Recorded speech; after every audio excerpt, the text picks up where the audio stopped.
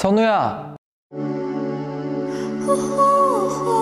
3학년 때 친해져갖고 어떻게 생각하세요? 받아들여야죠. 저도 이제 이거 안녕이에요. 그리울 거야 분명. Stay in the